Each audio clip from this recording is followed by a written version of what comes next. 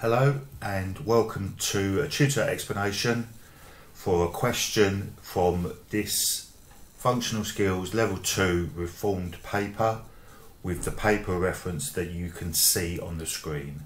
This question is from section B which is a calculator question. Okay, let's have a look at the question. David reads this advert on his county council website. 70% of the of woodland in the county is native woodland.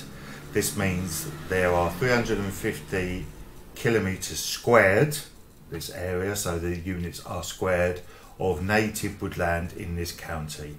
Work out the area of woodland in this county that is not native woodland.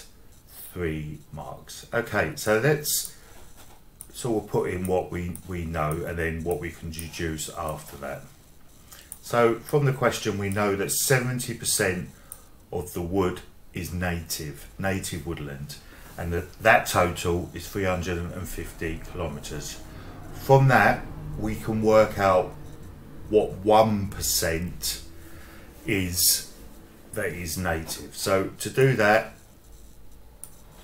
we divide the 350 by the 70%. So 1% is of all the land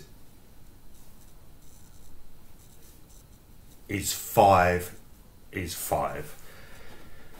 Okay, once we know that 1%, we can find out what 100% of the woodland is. Therefore, 100% of the woodland, native and not native, is 5 kilometres times 100.